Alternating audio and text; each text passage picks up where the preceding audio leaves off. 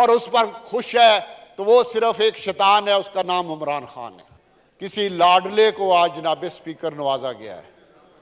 पाकिस्तान के अवाम की बात नहीं सुनी गई। उस लाडले को नवाजने की कोशिश की जा रही है, जिसने इस पाकिस्तान का चार साल में बेड़ा गर्क किया। माशी लिहाज से दहशत गर्दी के लिहाज से, करप्शन के लिहाज से जो जो जिस इशू पे उठाएँ, जिस अदारे को उठा के देख लें, जनाब स्पीकर उसको तबाह ना किया हो तो जो मर्ज़ी मुझे सजा दें। लेकिन हमारी बदकिस्मती है कि आज फिर उस लाडले को नवाजा जा रहा है। बजाय इसके कि इस मुल्क को इस्तकाम दिया जाता, आज एक ऐसा फैसला आ जाता, ये कहा जाता कि हम फुल कोर्ट बनाने जा रहे हैं। जनाब स्पीकर मेरी आपसे दरख्वास्त है इस मुआज़ हाउस से दरख्वास्त है कि अगर फुल कोर्ट का कैद दिया जाता तो मैं कहता हूँ कौन सा पाकिस्तानी या कौन सी पाकिस्तान की जमात होती जो फुल कोर्ट के फैसले को ना मानती। कोई ऐसा नहीं था। इस हाउस में कोई ऐसा आदमी नहीं जो ये कह सके कि मैं फुल कोर्ट के फैसले को नहीं मानता। कोई ऐसी सियासी जमात नहीं जो ये कह सके कि मैं फुल कोर्ट के फैसले को नहीं मानता। कोई ऐसा पाकिस्तानी नहीं जो ये कह सके कि मैं फुल कोर्ट के फैसले को नहीं मानता, लेकिन किसी की नहीं सुनी गई। एक जिद बनाई गई, एक ना का मसला बनाया गया और उस ना के ज़रिए पाकिस्तान को इस्तकाम देने की बजाय आज नफरत की दीवारें खड़ी कर दी गई हैं। आज वो तरीका शुरू करने की इजाज़त दी गई है कि सूबों के इलेक्शन दो के कभी होंगे दो के कभी होंगे, वफाक का इलेक्शन कभी होगा, क्या इससे कौम इकट्ठी होगी या तकसीम होगी? बिलावल भट्टो साहब ने उस दिन या तकरीर में जनाब स्पीकर कहा था, प्राइम मिनिस्टर साहब तशरीफ़ रखते थे कि हमें उनसे भी बात करनी पड़ेगी, जिनकी शक्लें शायद हमें पसंद ना हो।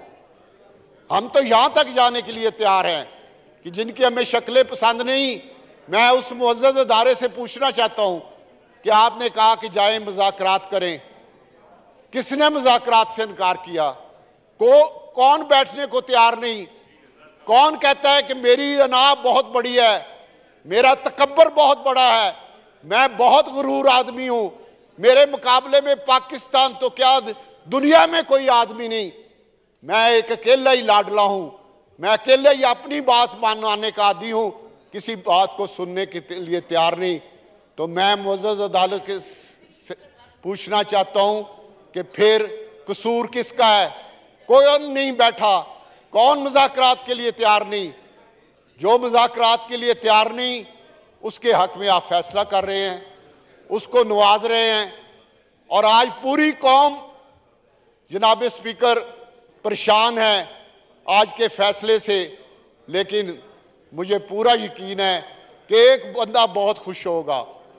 एक बंदा आज बहुत डांस कर रहा होगा। अपने चाहने वालों को कह रहा होगा कि डांस करें।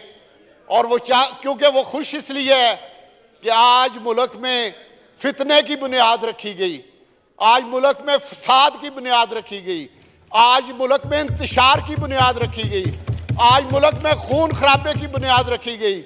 आज मुल्क में कौम को तकसीम करने की बुनियाद रखी गई। आज मुल्क में लहदा लहदा लोगों को करने की कोशिश की गई और उस पर खुश है तो वो सिर्फ़ एक शैतान है उसका नाम इमरान खान है। तो इसलिए जनाब स्पीकर मैं ये लफ्ज जो है ये एक्सपेंज करता हूँ शैतान का। आप बड़े सीनियर लीडर हैं leader of the opposition please तो उस उस आदमी ने जो सिर्फ़ फितना चाहता है जो हर वक्त चाहता है कि मुल्क में फसाद हो किसी चीज़ ऐसी पे वो मुतफिक नहीं। जिसमें फसाद ना हो, जिसमें फितना ना हो तो मेरी आज फिर वक्त तो गुजर चुका है, फैसला आ चुका है। आगे देखें, मुझे तो बहुत ख़तरनाक हालात नज़र आ रहे हैं, क्योंकि ये आज का फैसला एक ख़तरनाक फैसला है इस मुल्क और कौम के लिए। जिन्होंने किया है, तारीख में कभी ना कभी उस, उनको इसका जिम्मेदार ठहराया जाएगा। आज जिन्होंने जुल्फकार अली भट्टो को शहीद किया था वो कौम से माफ़ी मांगते रहे। उनके जनाजे में लोग